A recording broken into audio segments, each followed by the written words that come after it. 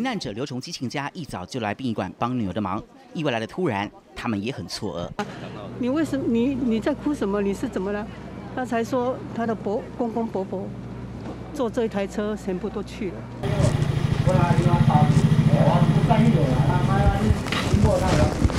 来到刘崇基位在新北市金山的家，从早到晚不时有亲友邻居前来关心，大家万万没想到，同条街上住户相约外出游玩，却有人永远回不了家。都很算幸运的。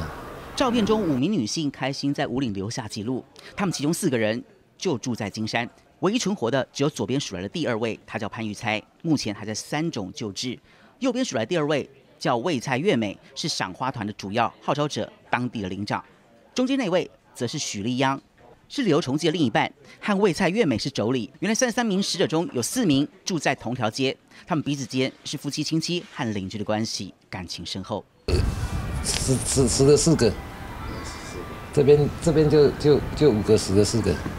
其实魏蔡月美在传照片时，才小抱怨路程遥远，未料却成为不归路。至于罹难者之一的庄美丽，出事前才按孩子和孙子视讯。像我我大嫂她那个小儿子，他。九点多，晚上九点多出事的嘛，他八点多还在车上跟跟他儿子用视讯。啊，外面外面啊，这这几件衣服啊，可能没有收，没有收啊？为什么？嗯嗯，不知道。是想说一天就回来？对，想说一天回来，可能晚上，可能早上晒还是怎么？